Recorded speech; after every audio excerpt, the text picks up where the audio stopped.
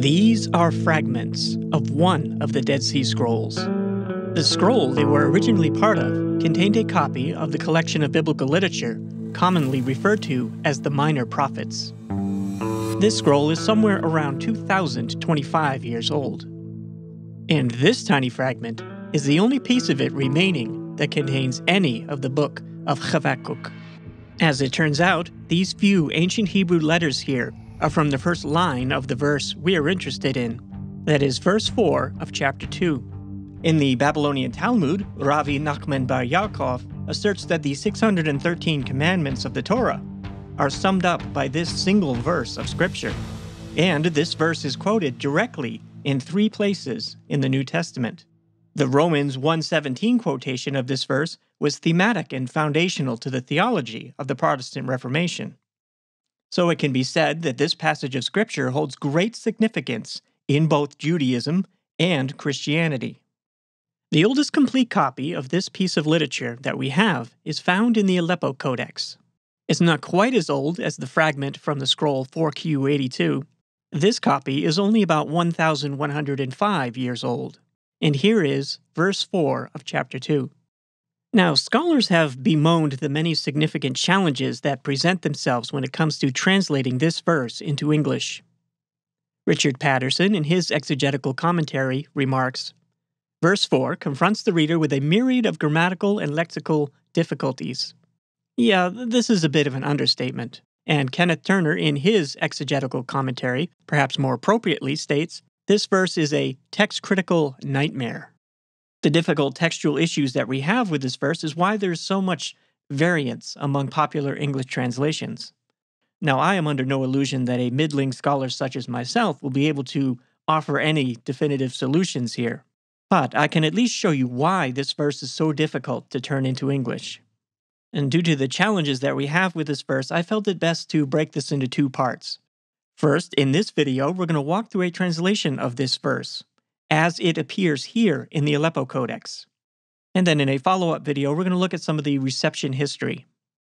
But before we do all that, as always, let's begin with some context. In most of the prophetic books of the Hebrew Bible, the prophets are introduced with some biographical information. Here in the book of Habakkuk, we have none of that.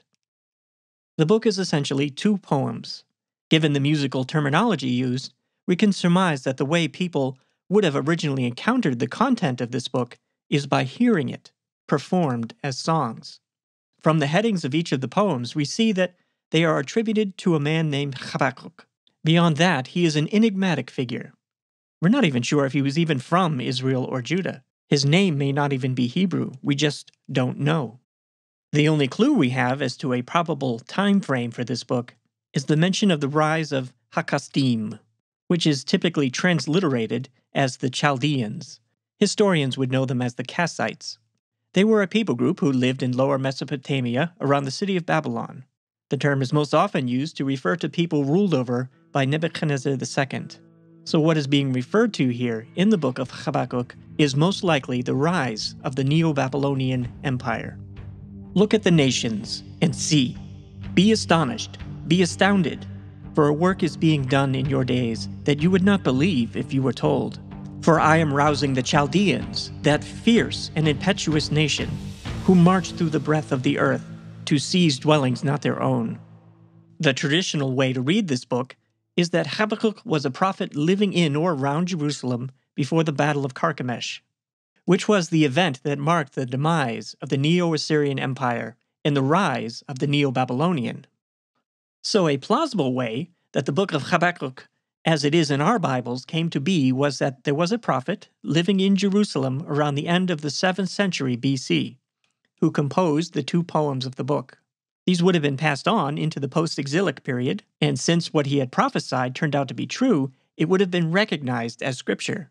Whereas exactly who this prophet was and where he came from would have possibly have been forgotten by then hence why the book does not have the standard biographical information that we find in the other prophetic literature.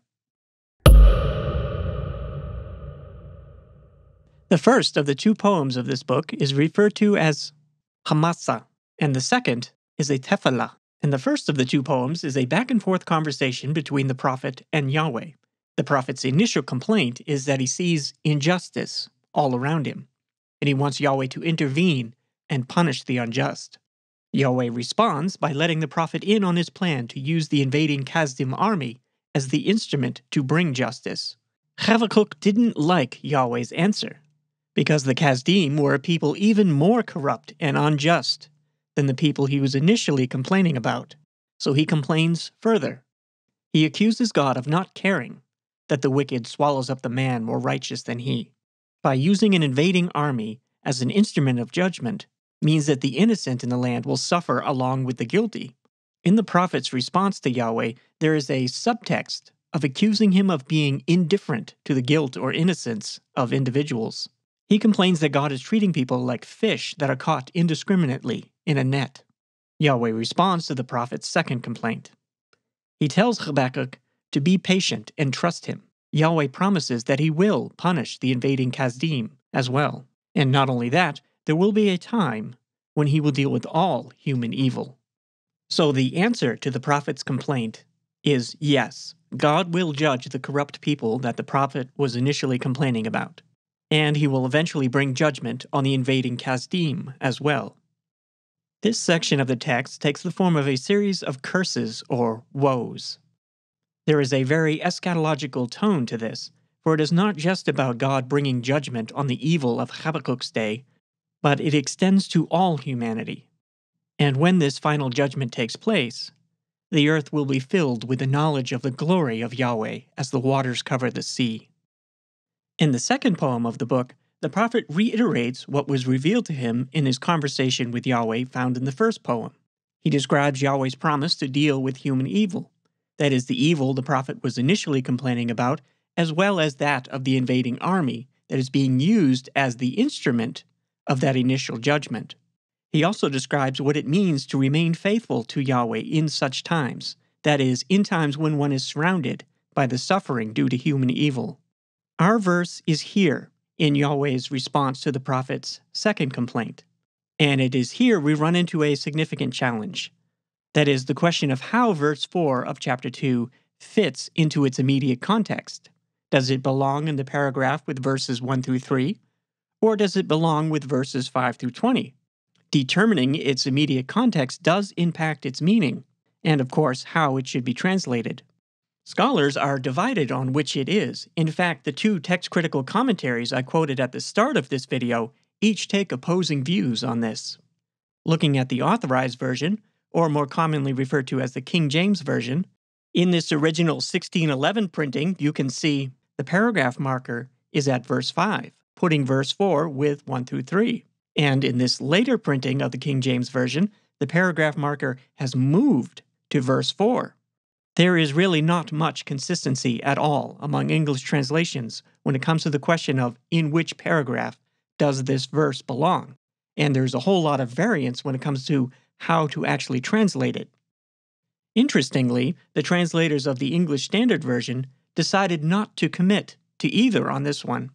They just left verse 4 floating out there by itself, not part of either paragraph.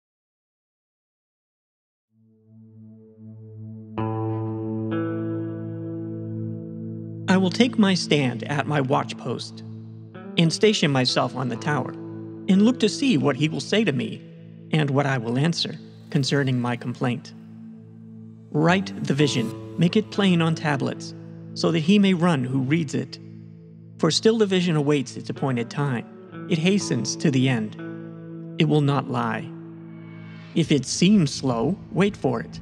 It will surely come, it will not delay. Behold, his soul is puffed up, it is not upright within him. But the righteous shall live by his faith. Moreover, wine is a traitor, an arrogant man who is never at rest. His greed is as wide as Sheol, like death, he has never enough. He gathers for himself all nations. He collects as his own all peoples. Now we're going to work through the Hebrew syntax and grammar of verse 4, and then we will return to this question of the immediate context of this verse. And you'll see how, depending on how you answer that question, it will affect the translation.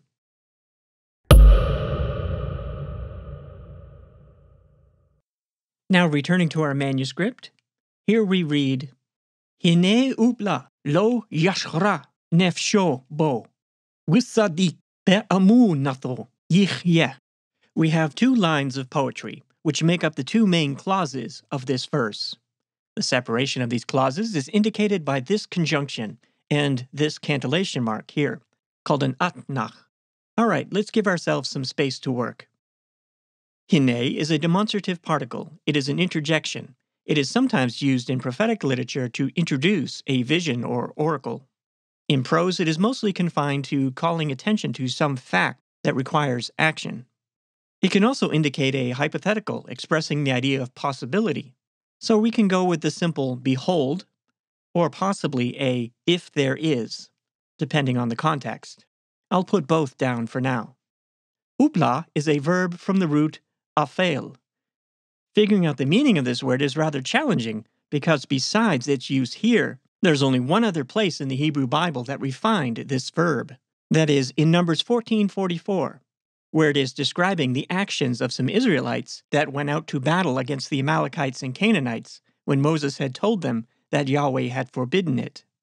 So the idea behind this word seems to be presumption in the sense of thinking you know better. It also seems to carry the idea of disregarding instruction, so to ignore, or more precisely, to show heedlessness. Now, when you look this word up in most biblical Hebrew lexicons, you find two entries listed one being the verb to be heedless, and the other meaning literally to swell or to puff up, with a figurative meaning of to be in a state of pride and arrogance. And all these lexicons list the Habakkuk 2 passage as being this one, and the Numbers 14 passage as being this one. The thing is, we really don't have enough information to know which of these it is in our verse here. An argument can be made for either one. And this is further complicated by the fact that this is a unique spelling. Here, the verb appears to be a pual perfect third person feminine singular. The pual verb stem means the action is in a passive voice. I'll put down both literal meanings for now. So she is being puffed up, or she is being heedless. Lo is a negation, and yashra is a verb from the root yasher, meaning to make straight or right. It can be used in the ethical sense of upright or straightforward. This word could also mean smooth or pleasant, and figuratively as being pleased. In the context of describing a disposition or a relationship, it can mean something like copacetic. It is a called perfect third person feminine singular, so she is not upright or she is not pleased. Like the previous verb, I'll put down both for now. Nafsho is the feminine singular noun nefesh and the third person masculine singular possessive pronoun. The noun nefesh literally means throat, although it is almost always used metaphorically as that aspect of humans that has desires, like hunger or thirst. It can also be used to refer to the idea of a person's life, simply because a dead body has no desires or motivations. It is lifeless.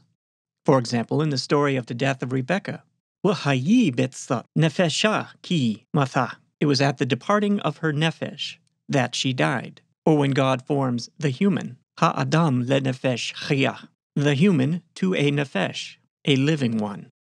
It is in this sense that nefesh overlaps a little bit with the meaning of the English word soul or at least in the older sense of that word.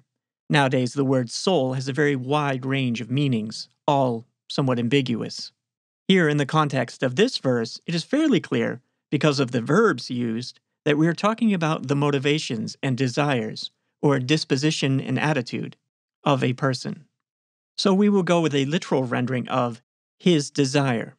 And since this noun is singular and feminine, it agrees with our two verbs. So this is the subject of our clause. Bo is the preposition be, meaning in, with, or by, and the pronoun. So we can go with in him or it, or with him or it. I'll put both down for now. W is the conjunction, typically rendered and, or since this verse is a contrast, we can go with but.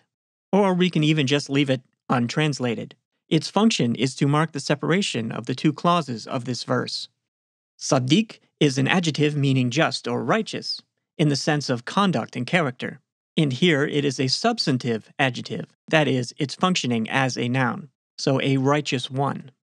Be is the preposition in, with, or by, and this is the noun, amuna, meaning something like faithfulness in the sense of loyalty. It conveys the idea of being constant or steadfast in the face of opposition. The word is often used synonymous with chesed. Chesed specifically refers to loyalty in the context of a covenant, whereas amunah is loyalty in a more general sense. Now, etymology isn't always helpful when trying to work out the meaning of a word. At least it shouldn't be given anywhere near as much weight as things like context and usage. The standard example of this would be noting that the English word butterfly has nothing to do with dairy products. But in the case of our word here, looking at its etymology does provide some insight into its meaning. In ancient Hebrew, the vast majority of words are built on a triconsonantal lemma. If you take the lemma, aleph, mem, nun, as a simple verb in the qal stem, you get the word meaning to be trustworthy, established, or dependable. In the hiphil stem, you get believe, trust, or to put faith in. When used adverbally, as an interjection, you get the word amen, which is an affirmation of what is declared, an acceptance of a thing as being true. As a participle, you get standing firm, unwavering, or believing. Some examples of nouns derived from this same root would be this word meaning firmness, faithfulness, or truth, that is, truth in the objective sense. And you also get nouns like this, meaning loyalty or trustworthiness, in the sense of being dependable or adhering to a standard, or meaning a binding written agreement, a regulation, a prescription commanded by an authority. And we have our word found in our verse, the noun amunah. Although typically translated faithfulness, because of its association with all of these ideas of truth, belief, and reliability, some translations go with fidelity, just like a high fidelity audio recording is meant to be a truthful or faithful representation of the sound that it is a recording of. When this word is used for describing human behavior, there is an archaic English word that we can use here. That is fealty, like a knight in the Middle Ages swearing an oath of fealty to his lord. Although this works for human actions, this word can also be used to describe God's actions. So for us, I think a simple rendering of loyalty will work here. Just keep in mind that it is loyalty with the assumption that it is based on an objective truth. So, an action in alignment with objective reality, or a believing loyalty. And this word has the third person masculine possessive pronoun. So, his loyalty. And we should take this be as a preposition of instrumentality. So, we can go with by means of his loyalty. Yichya is a verb from the root chaya, meaning to live, and it is a qal imperfect third person masculine singular. So we have he will live. All right, now I'm just going to point out some of the grammatical oddities that we find in this verse. Looking at this first clause, right off, we have an atypical spelling. Hine is normally spelled simply hain. There are other occurrences of this spelling, but it's definitely not the norm. And we see the two verbs here are both feminine and singular, which indicates that desire is the subject. But this syntax is a bit bizarre this double verb, with one being in a passive voice and the other being in an active voice, is atypical of Hebrew. Well, it's probably atypical of any language, really. And the Masoretic scribe that created this manuscript noted this word as being the only occurrence of this spelling in the entire Hebrew Bible. And this in him is strange as well. A nephesh is not normally spoken of as being in a person although there's a lot of other things this preposition can mean. And the big question with this clause is what is the antecedent to this possessive pronoun? Whose desire is this? Or whose soul are we even talking about here? Now, looking at the second clause, there's some issues here as well. The obvious antecedent to this possessive pronoun is the masculine singular, a righteous one. Although it is strange that it's even here, it is superfluous. If it wasn't here, it would still mean the loyalty of a righteous one. Another thing that's atypical here is the verb being at the end of the clause. In biblical Hebrew, verbs are typically at the beginning, although this is not that strange to find this sort of thing in poetry. So, to translate this verse coherently, we need to make some choices. First, we need to return to the question of what paragraph does this verse go with? Did the author intend it to be part of the introduction of the vision of verses 1 through 3, or is it meant to be part of the vision itself, describing the invading Kasdim and the prophesying of their eventual fate in verses 5 through 20? Let's first consider the option of it belonging with verses 5 through 20 and being part of the vision itself. Then, this first clause is a description of the invading Kasdim army, which is then contrasted with the righteous in the second clause. So, this pronoun, his, is a personification of the Kasdim, in which case, for this word, we can go with puffed up in the figurative sense of arrogant, or even literally as swollen, describing the growth of the Neo Babylonian Empire, like a cancerous tumor as it spreads beyond its borders, assimilating the surrounding nations. In this word, we can go with not upright, as in corrupt. So we can reasonably render this Behold, puffed up, corrupt is his desire in him. But a righteous one, by his loyalty, will live. A couple of things that suggest that this is how the author intended this to be read is first, the use of the interjection, hinna. This suggests, although not always, that this is the start of a new section with a new subject meaning instead of looking for the antecedent of this pronoun in what preceded it, it is the subject of the new section. And second, the use of nefesho, or his desire, is repeated and expanded upon further in the very next verse. His greed is as wide as Sheol. Like death, he has never enough. He gathers for himself all nations and collects as his own all peoples. He being the Neo Babylonian Empire. Although confusingly, the English Standard Version here translates nefesho as his soul in verse 4, and in verse 5 as his greed. Now, let's consider the possibility that our verse belongs with verses 1 through 3. And since we are translating from the Aleppo Codex, this is the option we're going to go with. Because as you can see in this manuscript, the scribe grouped verse 4 with verses 1 through 3. There is a clear break after verse 4. This seems to be the consensus of Masoretic manuscripts, the only exception being the Leningrad Codex, which groups all of chapter 2 into a single block of text for some reason. With verse 4 being part of the introduction to the vision, this means that this first clause, instead of describing the invading Kasdim, is describing those who do not believe the vision, that is, those who have lost faith that it will ever come to pass. So these are people who do not believe God will ever bring justice, and have fallen into the sin of despair.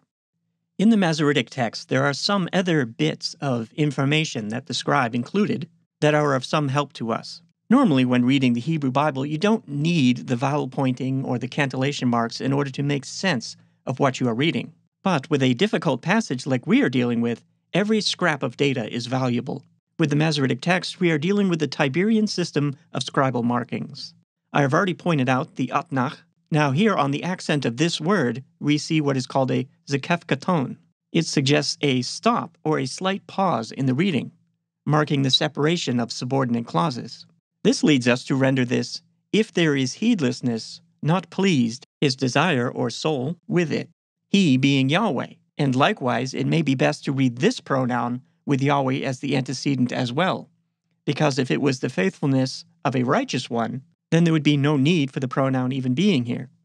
So, taking the Zakef Katon as acting like a comma in English means it is suggesting that this is a subordinate clause. This reading makes sense out of the double verb with the different voicing. And speaking of a nephesh or soul as a way of talking about someone's disposition is a standard Hebrew turn of phrase. So we get, if there is heedlessness, his soul is displeased with it but a righteous one, by his faithfulness, will live. In the context of verses 1 through 3, Yahweh is telling Habakkuk about the vision he's going to receive. This verse is then a contrast between, on the one hand, those who have lost faith, not believing the vision, not remaining loyal to Yahweh, and on the other hand, those Yahweh counts as righteous, that is, those who live by trusting Him to do what He said even when it doesn't seem like things are moving in the direction of justice from one's own myopic perspective. In this antithetical parallelism, those who are disloyal are juxtaposed with Yahweh's faithfulness, and the ones he is displeased with are juxtaposed with the ones he counts as righteous. So, to make this contrast a bit clearer in English, I would offer this paraphrase of this verse He is displeased with faithlessness, but the righteous are those who live by his faithfulness. From the prophet's point of view, his complaint was that he saw injustice all around him and he wanted God to do something about it. God's response was to reveal to him the bigger picture, which for Habakkuk and the people living in and around Jerusalem meant things were about to get exponentially worse. By worse, we mean going from the suffering due to the evil immediately around them to enduring the suffering that comes with a military invasion. So we're talking about the death of a large number of people and the burning of cities, the tearing down of temples, disease, starvation, and the displacement of portions of the population. So, in short, the desolation of the nation. So, God's answer to the prophet's complaint is yes, God is going to bring justice to the world, but it involves the unfolding of events reaching into both Habakkuk's past and into his future, spanning millennia, and the rising up and disposing of giant world dominating empires that God is moving around like pawns on a chessboard.